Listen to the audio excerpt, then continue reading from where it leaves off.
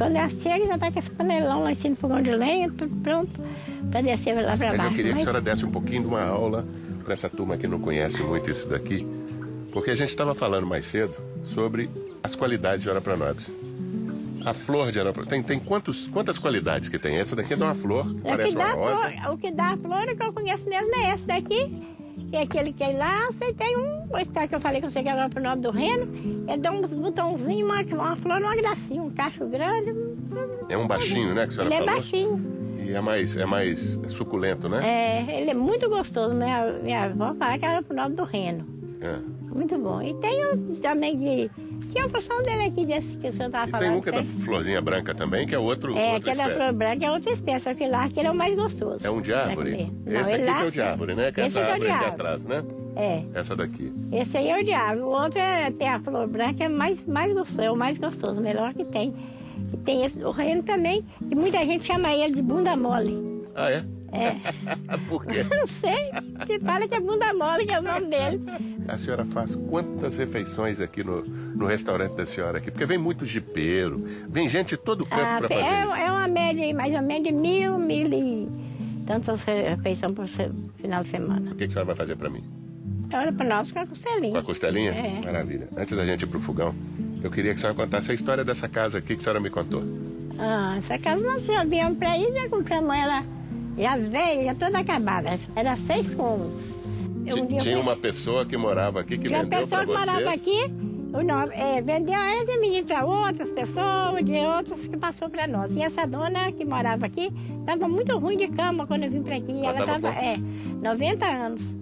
E ela, eu fui Isso na há casa 60 anos atrás. É, eu fui na casa dela para passar uma noite com ela, que estava muito ruimzinha. Ela estava contando, ah, minha filha, aquela casa, tem muita história para contar naquela aquela casa que a está morando nela. Quando minha mãe morava lá, Dom Pedro II pernoitou uma noite lá.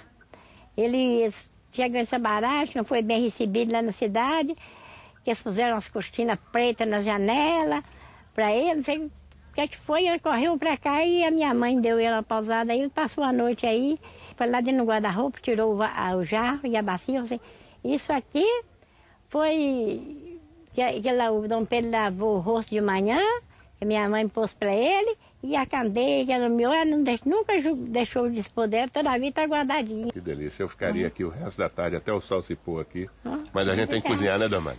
E o programa é de gastronomia, mas hoje eu estou falando com esse prazer de estar falando com essa senhora, falando de gente, que é o nosso maior patrimônio que a gente tem.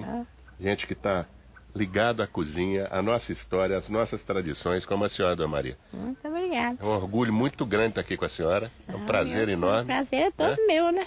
E a senhora é Eu- mais eu uma ídola da gente. Boba que não serve para A gente nada. que, que ama a gastronomia, ama a história de Minas Gerais. Eu também A senhora é um exemplo vivo da, da força do do mineiro, né? Quando vai comida do mato é essas guisadas do mato. Meu pai gostava demais, né, dessas coisas. Então, eu falei pra cá, hoje faz um guisadinho disso pra mim, daquilo. Cada dia falava que queria uma coisa. Era berdoega, picão, tudo eu ficava fazendo aqueles guisadinhos, bico de banana. Eu fazia e comia e gostava também. Eu sempre falava com meu marido, eu ainda vou pôr um restaurante pra mim, pra mim fazer essas coisas que vai comida da, da roça, que o papai gostava. Eu, então, trabalhar no restaurante, eu assim, nem de jeito nenhum. Lugar e mulher dentro de casa, cuidando do marido e dos filhos. Aí nunca não. Quando ele morreu, eu comecei a fazer as comidas aqui dentro de casa. Às vezes pessoas mais de idade iam fazer aniversário, eu ia fazer, Maria, faz uma canção aí para nós com a costelinha, não tem? E, e angu. Eu fazia. E nisso, eles me incentivaram para pôr o restaurante e acabou eu pondo no restaurante. Foi nesse dia que o Wander veio que ele me, me incentivou para pô, Dona Maria, eu vou ajudar a senhora, vou mandar os turistas para cá. E eu resolvi, pô, graças a Deus deu muito certo, a vida da gente melhorou muito. Quer dizer que você faz de um, de um jeito É diferente. diferente, é mais fácil para não babar. Isso é óleo ou é banha? É, é gordura de tocinho. Gordura de É a tocinho. melhor que tem para fazer hora para nós, é com gordura de tocinho. Agora tempero é a gosto. Um pão é tempero é a gosto. Alho e sal. Alho e sal. é. Não vai ficar salgado, não perde ela. Já tem que Agora pode pôr agora para nós, primeiro agora de pôr a água. Você Água pode pôr primeiro. para ficar bem feliz. Tá mais de água, tá fervendo. são diferentes dos outros. É. Quiabo eu faço assim. Quiabo assim também? Por quê? Não baba? Que, que Pra é? não babar. Olha só, cada um com seu É. segredo, né? Agora pra já picada, já tá picada, faço. Eu levar pra senhora pra mim. Mais um pouquinho de água. E aí você vai botando água, mexe um pouquinho na água quente, É. O quê? aperta a costelinha Não, eu frito ela e depois um pouquinho de água pra ela ficar macia e, gua- e E guarda, ela- deixa Já pré-pronto. que é assim, eu faço, eu faço, como sempre, quando eu vou fazer o Ouro pro Nobres para o festival, vou fazer muito, eu faço um caldeirão grandão, cheio de Ouro pro Nobres puro. E faço as carnes todas. E para me mandar lá pro restaurante, cada um eu ponho numa panela já- com a sua carne. Sabe Pra fazer mais fácil, né? Os chefes hoje chamam isso de mise en place. É. Deixa tudo semi-pronto. Deixa tudo pronto. Estava me divertindo com Dona Maria no fogão a lenha, onde ela me mostrou como prepara sua deliciosa costelinha com hora pronobis. Ela já deixa a carne semi-pronta e, para finalizar, mistura com hora pronobis antes de servir para os seus clientes. Que coisa. E não baba mesmo não, né, Dona Maria? Não, mas não é. Assim Que ferve, pode dar uma babinha, mas dá que vem cá, babava assim que ferve, ó. É, não tá vendo baba, eu não tô vendo a baba aí. É. E aí, temperinho? Tempero Tá mais ou menos? Tá bom, tá ótimo. Que beleza, hein? Tempero que agora serve com arroz e angu. Agora eu vou, eu vou chamar sua filha Ah. para fazer um negócio para nós. A Nidinha, né? É. E foi aí que encontrei outra joia daquele lugar. A filha da Dona Maria. Um pouquinho até chegar e chamar ela. Cadê a Nidinha? Vem cá, Nidinha. Olha quem que eu chamei aqui agora para cozinhar junto com a mãe dela. É Nidinha. Você cozinha mais doce, né, Nidinha? Vem cá, pode botar a panela aqui. Você cozinha mais é doce. É. Ela então não quis cozinhar as comidas salgadas, Não, não? ela, tomou meus um artesanatos, do passei os fogo, porque artesanatos. não pode ser como isso. Passei os artesanatos pra ela, que eu não tava dando conta, e agora ela foi inventando mais coisas, somente é a inventação dela. Agora, vocês não sabem o que, Ficou. que a Nidinha vai fazer para nós aqui. É Inacreditável. Vai fazer um sorvete de nós. Ela não vai fazer o sorvete, mas ela vai mostrar como é que é o processo para começar a fazer o sorvete. Nidinha, como é que é isso do sorvete? Você coloca para esquentar na panela? Sorvete, Depois das folhas já lavadas, eu ponho a panela do fundo mais ou menos grosso, né? Porque senão queima. Sei. Com um pouquinho de fogo, tem que tirar um pouco de fogo para ficar mais no calor da brasa. Sei. Depois joga a folha aqui. Sem nada? mexendo. Sem nada. Nada. Tem que, tem que só mexendo, porque se largar de mexer um pouquinho, Ela queima. ela queima. Aí vai só mexendo, só mexendo, até Aí ela, murchando, tá pronta. Murchando, quando ela ficar murchinha, que ela tá até escurecendo, aí é só jogar o açúcar em cima, um copo de água e deixar cozinhar para pegar o sabor. Ah, então você murcha, deixa desidratar. É. Desidratou, você aproveita. No próprio fogo você joga Outra açúcar. panela joga o açúcar. Aí mexe um pouco com o açúcar. Na hora que o açúcar começar A derreter. a derreter, eu jogo um copo de água. E aí deixa virar aquele caramelinho. deixa cozinhar ali uns 10 minutos que é pra pegar bem o sabor do, do orapronose. Aham.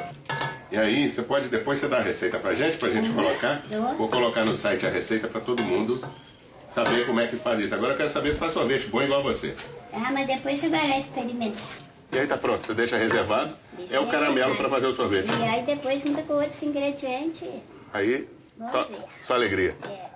Ô, Gente, e outra coisa interessante, eu tô com um livro aqui do outro filho da Dona Maria, o Silas, que é um poeta. A Nidinha também escreve. A família inteira é de artista, artista de fogão e a sensibilidade para tirar esse outro sabor aqui do Hora Pranobis, né? O sabor da poesia, né, Nidinha? É, Você também escreve, né? eu gosto. Agora não tô tendo muito tempo não, mas quando eu, quando eu tenho, eu escrevo. Então vamos lá pra você contar pras crianças. Obrigado, viu? Vamos lá? Vamos lá, Dona Maria? Então vamos. Obrigado, viu, Nidinha? Ela já murchou bem, né? Antes de começar a experimentar e mostrar para vocês o sorvete Hora Pranobis que a Nidinha está preparando, que mostrou para gente lá na- no fogão a desidratação do Hora Pranobis, vou contar para vocês e mostrar uma coisa muito interessante. É o trabalho que ela faz com as crianças aqui de Pompéu e de Sabará. Nidinha, conta pra gente como é que é esse trabalho. O que, que você faz, como é que é isso? Esse trabalho é um projeto do governo para para mostrar o, Ouro Pronobis como patrimônio daqui de, do, de Sabará, né? E do, principalmente do Pompéu, que o festival acontece aqui. Aí cada semana vem uma turma de crianças de uma escola. Tem Aí quanto tempo que você já está fazendo isso? Ah, tem dois meses. E você apresenta o sorvete. É.